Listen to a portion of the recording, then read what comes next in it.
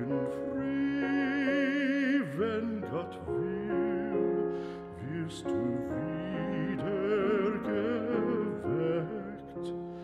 Morgen früh, wenn Gott will, wirst du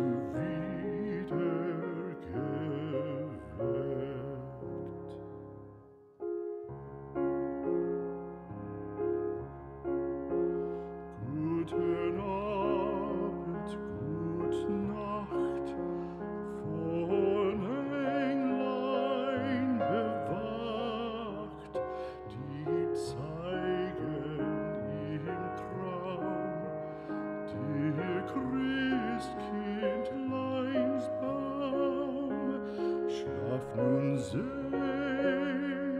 und süß, schau im Traums schlaf nun selig und süß.